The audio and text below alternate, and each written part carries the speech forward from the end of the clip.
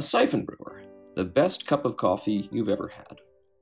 Wikipedia claims this is also called a vacuum brewer, but I've never heard anyone call it that. Though honestly, I've never heard people call it anything, because you're getting into serious coffee maven territory to even have heard of one. It's hard to know exactly when it was invented, but the origin of the design seems to be 1830s Berlin. It spread to other parts of Europe and America, but simpler brewers superseded the complex siphon brewer by the 1950s. The siphon remained popular in Eastern Asia, including Taiwan and Japan. In fact, when you shop for a siphon, it's sometimes referred to as a Japanese style brewer, and it's mostly Japanese firms like Hario and Yama that continue to produce the sets. How to? My set is the Hario TCA 5, which is the 5 cup version of the TCA 3. You can expect to pay about 80 bucks for it, and it comes with a set of cloth filters. The renewed popularity of siphons means a number of firms have put out cheaper models in various forms, including a $50 set by Bodum, though I can't vouch for its quality with its reusable filter. Yama sets tend to be about 20 bucks less than the Hario models. Here's the equipment I've bought separately. A kettle, digital scale, thermometer, and a butane burner. Now, the set does come with its own alcohol wick burner, so you don't need the butane burner. However, you can't really control the flame on an alcohol wick burner, and the wick burner tends to leave soot on your beautiful glassware. So I, as most siphonifas, have bought a butane burner. To get started, set your kettle to boiling. You could waste fuel and boil it from your burner, but you'll also waste a lot of time and unlike the moka pot debate, there isn't even a reason for not preheating your water since you haven't even added the grinds yet. Put your filter in warm water, measure out your coffee. The Hario set comes with a measuring spoon and instructions for 8 to 10 grams per 100 milliliter cup, which I found works well. This gives you a brew ratio of about 12 to 1, though some of that water is going to boil away in the brewing process. You want your grind setting to be towards the finer end of a pour over a drip brew. This becomes one of the many variables you can tweak later, and it bears repeating. Siphon brewing is very sensitive to grind consistency. You need a good burr grinder, consistently ground beans. Uh, don't mess around with a blade grinder on this, it makes a lot of difference.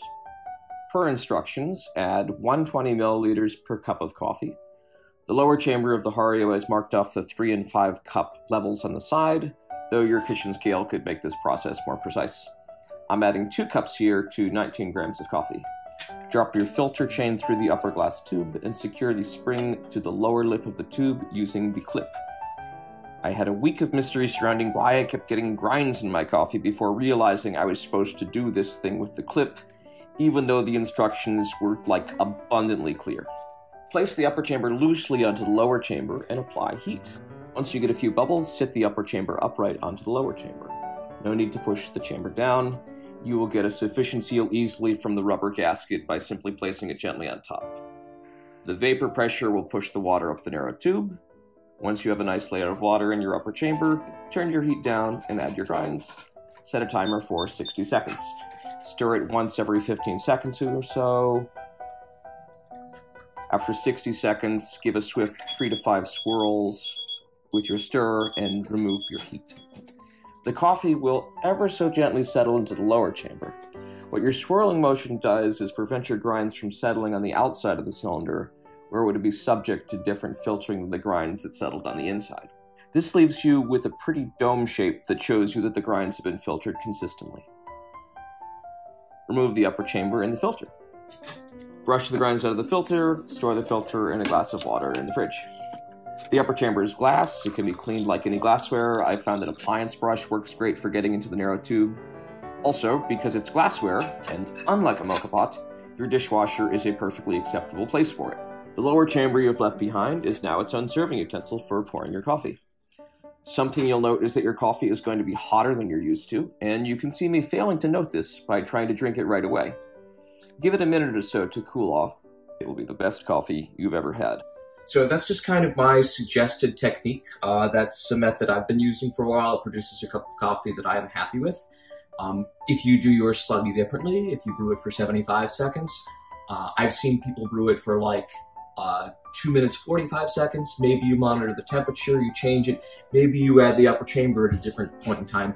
Um, it doesn't mean your technique is wrong and we have to like fight about the right way to do it. It's just Uh, don't take my word for uh, for what makes a good cup of coffee. There's plenty of variables to tweak there.